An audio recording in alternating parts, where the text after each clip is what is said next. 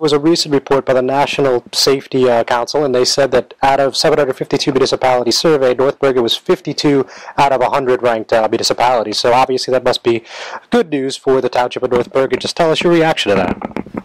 Oh, we're very proud. Uh, it really does qualify the great work we're doing here in North Bergen. Uh, the men and women of this department work tirelessly to keep the streets safe, um, reduce crime, and really improve the overall quality of life here. Of course, it's community policing, right? And that's that's a big item that we do here. We're entrenched in our community. Uh, I started a, a, program called the Township Alternative Policing Strategy (TAPS). We meet every single month in four geographic areas of the town. We have open community policing meetings where we invite and encourage residents to come out and speak to us one on one. Nobody knows their neighborhood like the people that live there. So we get a lot of information from residents on what's going on. That really helps us. And then the next thing we get involved in is some intelligence led policing. Uh, we built this crime prevention center that you've been inside, John, a couple times. Sure. And we uh, utilize digital mapping and uh, some other technologies to run a CompStat.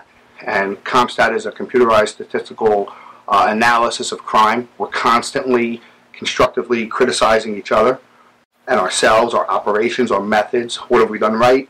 What have we done wrong? What could we do better? You see, basically, you're the commissioner of the police department, so you're familiar with a lot of the uh, initiatives that they've been doing. So, what would you attribute some of this uh, success to? Well, I have to say, uh, it's a top to bottom kind of organization with uh, with the leadership of, uh, of Chief Robert Dowd.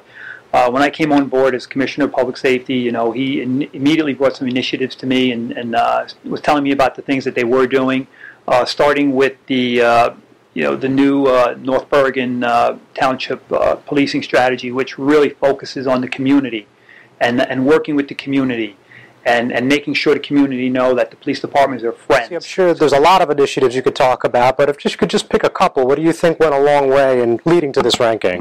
Well, number one is that we hire from within the township, and I, I, that's very important to me. Therefore, uh, demographically, we're similar to the population. We have uh, it's a high uh, level of Latinos uh, population in town. We have a high level in our police department. We have Arabic police officers. We have women police officers. So we kind of mirror the, the way the town is uh, structured demographically, and I and I think that's very important.